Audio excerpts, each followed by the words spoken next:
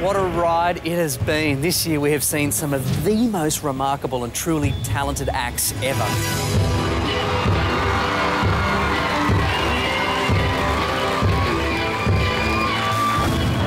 Now it's time to move to the next stage, to the serious side of the competition. Let's not forget that there's a quarter of a million dollars at stake. Now that's a lot of money.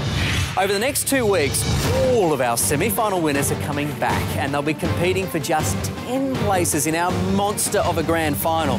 So unfortunately, not everyone will make it through. Now, all of your favourites are going to perform again right here where I'm standing.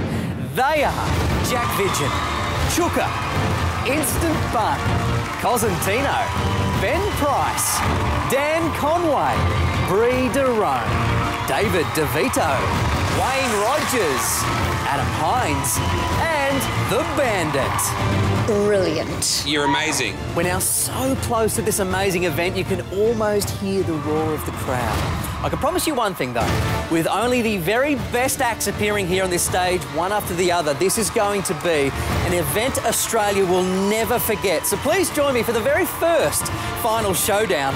It is going to be incredible.